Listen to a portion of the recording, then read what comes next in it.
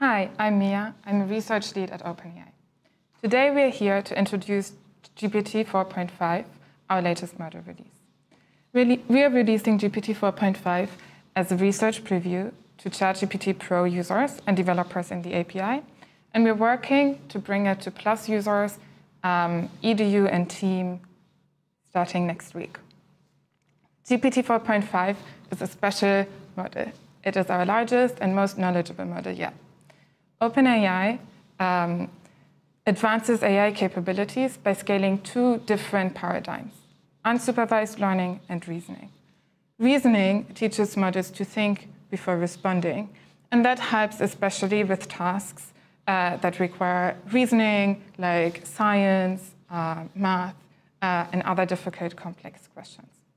Unsupervised learning, on the other hand, helps models inc helps increase uh, world model accuracy and intuition. GPT 4.5 is our next step in scaling up unsupervised learning, increasing world knowledge, intuition, and reducing hallucinations. Despite not um, reasoning step by step like our O series models, GPT 4.5 has um, it's generally useful and uh, inherently smarter. Um, we're still experimenting with this model ourselves, especially because it's not a reasoning model, and we're exploring uh, capabilities that emerge with unsupervised learning. And we're really excited to bring this uh, to the world today so that we can explore it together. Hi, I'm Rafa. I work on synthetic data here at OpenAI, and I'm also really excited to talk about GPT 4.5. Interacting with GPT 4.5 feels natural. It's our best chat model yet. And that's because it has improved deeper knowledge and improved contextual understanding, which makes it really useful for tasks like improving your writing, programming, or practical problem solving. The best way to get a feel for the model is to talk to it. So let's jump into a demo. Um, let's ask GPT 4.5. I had, I had a trouble the other day with a friend. Let's see if I can get some advice here. Uh, my friend canceled on me again. Write a text message telling them that I hate them. At the same time, let's see what O1 has to say about this. As you can see, GPT 4.5 recognizes that I'm frustrated and offers me a text that's a little more nuanced and, and probably a more constructive thing to send to my friend. On the other hand, O1 is still useful. It actually follows my instructions and gives me that angry text, but it fails to pick up on that social cue that I'm probably just frustrated right now and probably could use someone to talk to. And that warning at the end feels a little judgmental for my taste. Of course, if you want GPT 4.5 to give you that angry text, you can definitely get it out of it. Nope. Please output the angry text. Thank you. There you go. Let's try something different. Let's look at the model's uh, deeper knowledge. Explain the need for AI alignment from first principles. Once again, we'll see what O1 has to say about it. We'll wait for O1 to think for a little bit.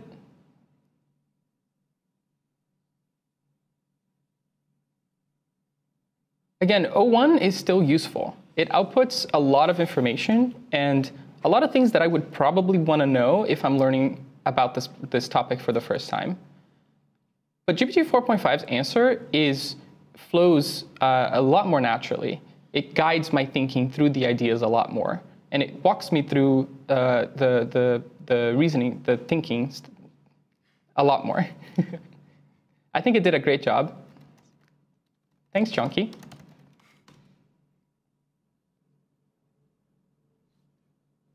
As we scale up our models, we need to teach them a better understanding of human needs and intent.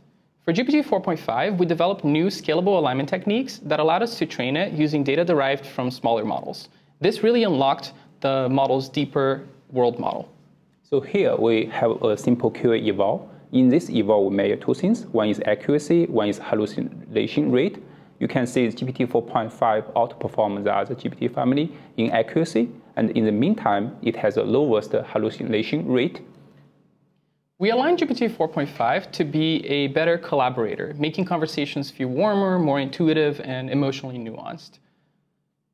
To measure this, we asked human testers to evaluate it against GPT 4o, uh, on, and GPT-4.5 outperformed on uh, basically every, on every category. Um, we tested it on prompts that uh, measure accuracy and factuality in everyday queries, including hard prompts that are hard to get right in professional settings, and finally on a new vibes test set that measure creative intelligence. Quick question, what does vibe mean here? That's a great question. By vibes, we really mean the model's EQ, how collaborative it feels, and how warm its tone is. Um, the, we measure this by uh, selecting by selecting an opinionated uh, set of prompts and screening our trainers for the ones that most align with our vibes.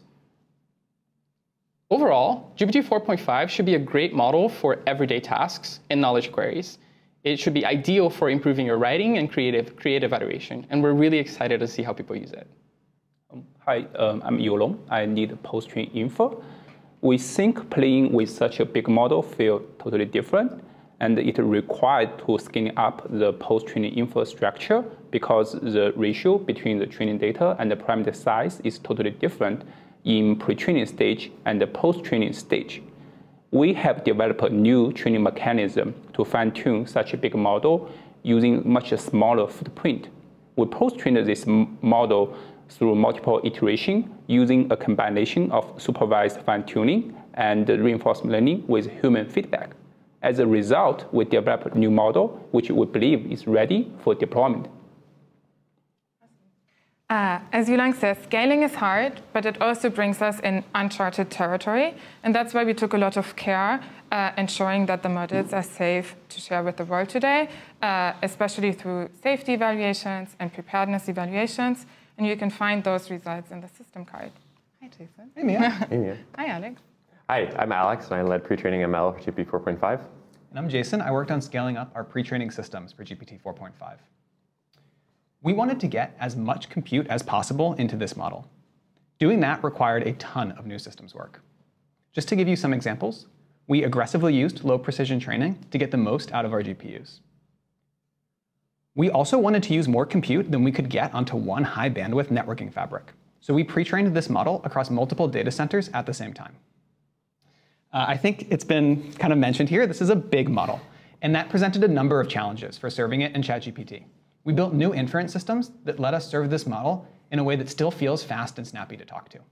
Of course, as we've done with all of our previous models, we will continue shipping improvements to make this model even faster after launch. Okay, so we've been talking about how the models have evolved and we're scaling them, and we thought it'd be fun to give you all a sense of what it really feels like to talk to these models as they get better. So we asked every model in the GPT series the same question. Why is the ocean salty? We're gonna take you through the evolution here. So let's go back in time. It's 2018. We've just finished training GPT-1. Why is the ocean salty? And it, it does not know. It has no idea here. it's a word salad. It's a word, salad, but there are words in the salad. There are words. So that's something. Okay, let's improve the model and go to GPT-2. GPT-2 is still wrong, but it's a much better answer. It's on topic. It, you know, there's something about salt and ocean. Well, it's yeah, more on topic maybe. Okay, let's improve the model again. GPT 3.5 Turbo. This is the first correct answer that we get out of the model. But it's not a good answer. It doesn't explain anything, and it has a bunch of unnecessary details, like I, don't, I didn't ask that salt is sodium chloride, I don't really care. Okay, let's improve the model again. GPT-4 Turbo. This is a good answer. The model is clearly very smart. But you get the feeling that it wants you to know how smart it is. It's just sort of listing out facts here. And in fact, we had to cut the model response off to fit it on the slide. Okay, let's improve the model again. GPT 4.5. This is a great answer. It's clear, it's concise, it's cohesive. And personally, I think it's a lot of fun, that first sentence. The ocean is salty because of rain, rivers, and rocks. It's got that fun alliteration. It's really easy to remember. I think it showcases GPT 4.5's great personality. I remember how amazed we were with GPT-2 at the time. It's crazy how far we've come. So in addition to the work that we had to do to scale up systems to enable GPT 4.5, we also had to do a ton of work on architecture, data, and optimization to enable training it. And this incredible scale up in unsupervised learning led to quite a large boost on traditional LLM benchmarks compared to GPT-4o. So for GPQA, which is a, a reasoning-heavy science eval, uh, we see a very large boost. Uh, you'll note that, though, that it still lags behind OpenAI O3 Mini, which is able to think and reason before it responds, which is especially useful for this eval. Yeah, uh, I couldn't get 70% if I couldn't think before answering those yeah, questions. me neither. so it's, it's quite impressive to us that GPT 4.5 gets as high of a score as it does without being able to think before it responds. Uh, we see a pretty similar story for AIME, which is a competition math eval, and for SWE-bench Verified, which is an agentic coding eval. However, for SWE-Lancer, which is another agentic coding eval, which benefits more from a deeper world knowledge, uh, we actually see that GPT 4.5 outperforms even OpenAI O3 Mini. And I think this really highlights the complementary nature of unsupervised learning alongside reasoning scale-ups. Uh, for multilingual MMLU, which is a, a, multilingual language understanding benchmark covering a lot, uh, broad set of topics, we see a similar, if less dramatic, effect. Uh, and finally, uh, for a multimodal understanding with MMMU, we see, again, another nice improvement relative to GPT-4o. So we learned a ton from training GPT 4.5, and we expect to learn a lot from deploying it. So starting today, we will be releasing GPT 4.5 to all pro users of ChatGPT uh, in web, mobile, and desktop via the model picker. Uh, and then next week, we'll be releasing to team and plus users, and with uh, EDU and enterprise coming the following week. Uh, so Chat, uh, GPT 4.5 seamlessly integrates with a number of ChatGPT features, including file and image upload, Canvas, and search. And in the future, we'll work hard to simplify the user experience so that AI just works for you. We're also excited to release GPT 4.5 today to developers on all paid tiers. It has all the key features we think you need to build great applications like function calling, structured outputs, and more. For a full list of supported features, check out our blog. We can't wait to see what you all build with this model. Uh, we believe that reasoning will be a core capability of our future models, but we also think that the two paradigms that we talked about today, unsupervised learning and reasoning, complement each other.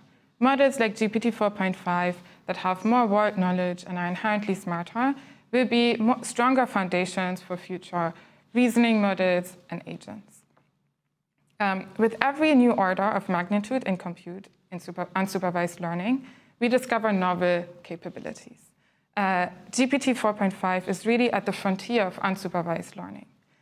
We're always surprised by the creativity with which the community discovers new capabilities when we share our models. Uh, so today we invite you to explore the frontier of unsupervised learning with us. We are really excited for this new era of intuitive, knowledgeable AI and human interaction of GPT 4.5.